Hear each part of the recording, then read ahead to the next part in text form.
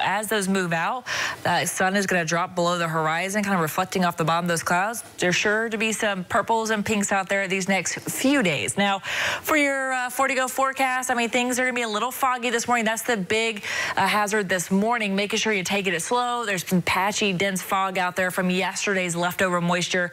By the afternoon, it mixes out, but it's going to be hot and humid. And then we find ourselves over the next seven days with some afternoon storms through at least Friday. But look at that. Temperatures are going to drop.